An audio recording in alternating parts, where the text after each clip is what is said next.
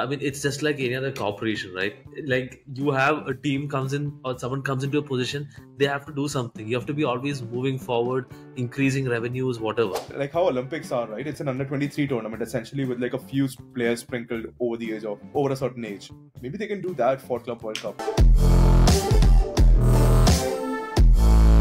How useless is international break? Bro i hate it. Like i absolutely hate it. Not because of that insane international break but because of i think we just had such a big tournament. We just had such a long season. And you can't expect clubs who are playing players salary to not play them because of whatever XYZ series and the fact that all of these players who were a big part of all these teams are called upon again without i mean they could have easily been given a 15 day break. I don't think any of those fixtures are meaningful enough to not give them a break. So how useless it is? Are you worried about your players getting injured? Do you think that's going to happen kind of depends on who's going to be playing. I think England has like two useless futuristic wallpaper the World Cup or something, but it's it's pretty useless. I think I think it, it's it's I don't know why we should have three international breaks, one in September, one in October, and one in November. We just combine everything into one big break or at least two, right? Because there's a lot going on, especially with Champions League. We have like four additional features we are going to play. How are you going to fit everything into one timeline? How like, yeah. you're basically killing the golden goose. Like you you these players are you. Like if you look at uh, uh, what was guy's um, that Lamine Yamal or, or, or, even Jude Bellingham or anyone. Look at the number of moves they've played so far with club and country at, the, at their respective ages and compare that to Rooney and Ronaldo. Look at the number of look at how much they're they're playing. And yeah. we're still doing this for random friendlies and random you know I don't know I think England is going to qualify no matter what uh, you know if Bellingham plays or not but he's still called up to the Olympics. He's still called yeah. up if you're going to just keep doing this all the time, if you're going to kind of just impose on players that you know you, you are you are needed for these you know random things against Andorra or San Marino, then what's the point?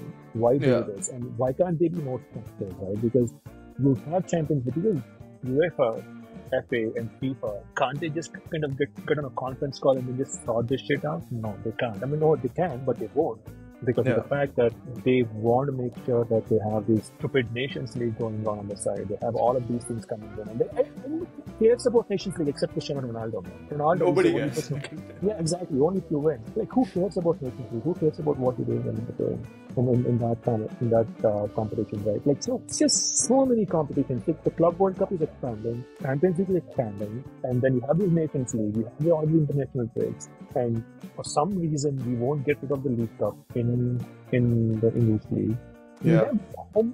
How, are you going? And the thing is, it's not like you can play everyone, right? I think you expect people to all the star players to show up, even in a League Cup final. You, have, you expect everyone to play, and then the thing is, there's there's no looking back. It's just that you're just running these players into the ground all the time, and I don't see an end to it. Like, at what point are you going to draw the line and say, okay, this is enough?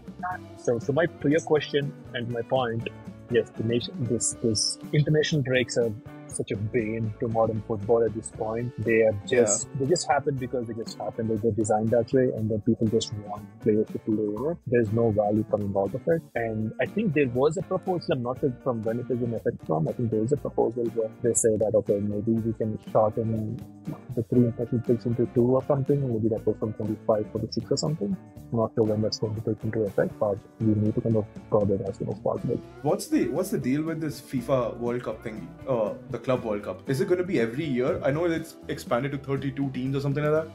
Yeah, I think again I might be wrong, but basically what they're trying to do is they think expand it and then so basically right now the way the football calendar is in the even years you have World Cup or a Euro alternatively, right? Yeah. So I think in the odd years, I think one season is going to be the Nations League or something like that, and then on the other season is going to be the Club World Cup in the US. So FIFA wanted more of these players, and I think even trying this season or maybe next season, uh, even the, the, the way you kind of participate in this Club World Cup is based on your coefficient, I guess. I think depending on how well you're performing oh, in the competitions over the last season. So I, you know, so I think Arsenal can be uh, can be relaxed about it. thank you for the thank you for the snide comment. Appreciate it. no, but generally, like I think, I think they're basically trying to see how they can have more involvement. It's a moot point. Like, why happen? Because you know the European clubs are going anywhere. when was the last time any FIFA Club World Cup was won by someone not from Europe? Tell me that. And maybe I don't know. I think 2005 or six or something. Maybe when they they stopped when we they when, maybe when they were not invited into the Club World Cup. Yeah, exactly. Maybe when it was right? Before. Yeah. What's yeah? What's the point of it? Because the Champions League is the pinnacle No, of the club thing, football. the thing it. is, I mean, it's just like any other corporation, right? Like you have a team comes in or someone comes into a position, they have to do something. You have to be always moving forward, increasing revenues, whatever. So because of that, they will always try to bring in new things. Always, Yeah. it's always going to happen. With more things, there's less space for other new things. So I hope we will hit a point where they won't be introducing all these weird random tournaments. But this will still continue to happen, and Yeah. it is not a big surprise. And who knows what happens in the next 20 years? Maybe the football in another continent might pick up. Like I think, I personally think maybe Africa can in the future because they still, you know, it's a place where you get a lot of good players from. They just haven't organized themselves into bro. proper. That can happen, right? In 20, 30 years. That can No, no, happen. no. Why not? Finances, no, no, finances, bro. Like I think it So requires. a lot 30 of years finances. is reasonable. Uh, I mean, maybe. Sure. I don't know. yeah. we don't know anyways so yeah it's just a thing and maybe if you really think about it it might be really beneficial for those clubs i mean the european club is going to win it doesn't matter but it might be a big source of revenue for the other smaller clubs from the other continents so maybe they're just doing it for that Yeah. so No, I think that's, that's, my point. that's the actually a good is, like, point. Don't be greedy about it, right? Like you know, if, if you want a club World Cup to be extended, you know, get, get rid of the League Cup. If you, I mean, you're, you're you're extending Champions League, you're extending the World Cup as well. How are you expecting the players to cope up with this pressure from international teams and, and the club field? Because Hmm, hmm, hmm, a club like Liverpool, a club like Arsenal or City, I think their their players are going to play 60 games through the course of the season. If you look at Real Madrid and City the season, Rodri or Bellingham, they played like 50 or 60 games. But I think how, how are you expecting that they will have the same level of performance? You've seen how much Bellingham's performance has dropped in the game.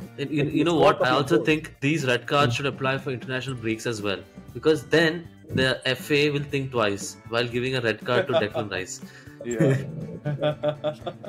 Good segue there, it works. you know what we can do? We can actually. I mean, they what they should do, like how Olympics are, right? It's an under twenty three tournament essentially with like a few players sprinkled over the age of over a certain age. Maybe they can do that for Club World Cup, where you know And players. I, I, Abhinav, I think you should be uh, calm, right? Uh, even though it's an international break, at least Nunes will be safe. Yeah, I think. Dude, dude, That's what he's not who calm about. That's that's not what that's what he's not calm about. He's worried about that because then somebody gets injured, then Nunes will be there to play. I don't know, man. With Nunes, you can never, you can never say anything. I spent too much of my time last season feeling about Nunes. I don't want to do it again. Okay.